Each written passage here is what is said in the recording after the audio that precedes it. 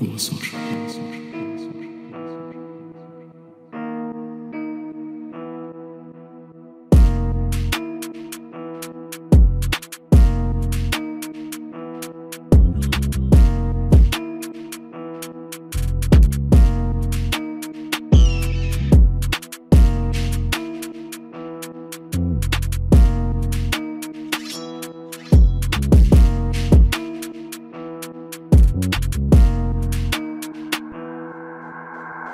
com Açores.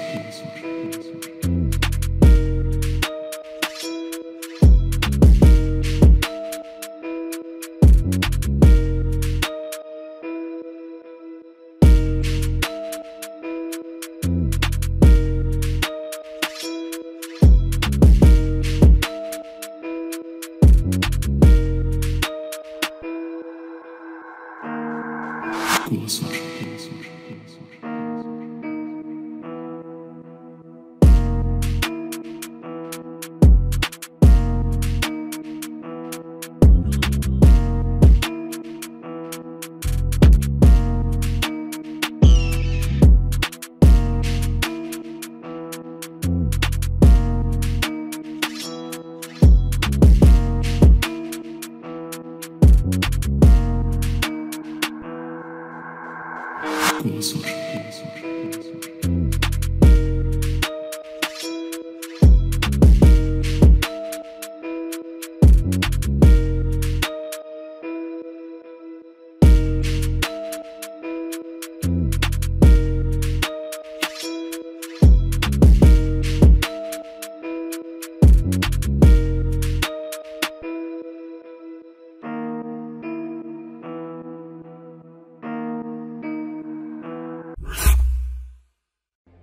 Victor Bout, an arms dealer sentenced to 25 years in a U.S. prison, has reportedly been negotiating the sale of firearms to Iran backed Houthi militants in Yemen after his release through a prisoner swap.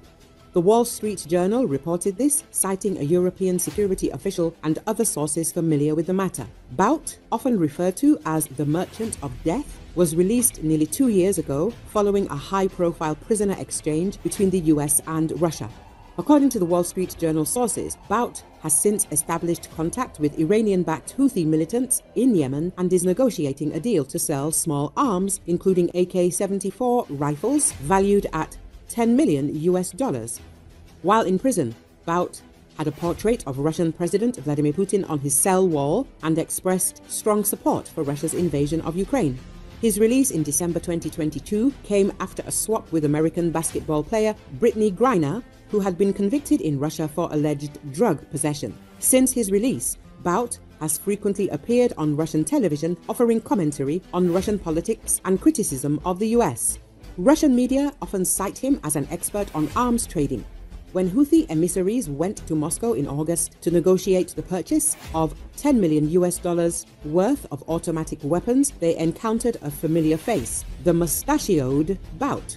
Wall Street Journal reports. According to Wall Street Journal sources, the negotiations centered on the supply of AK 74 rifles, with additional discussions about the sale of Kornet anti tank systems, and anti aircraft weapons. These arms deliveries could reportedly begin in October, disguised as shipments of food products to the port of Hodeidah, where Russia has already delivered grain.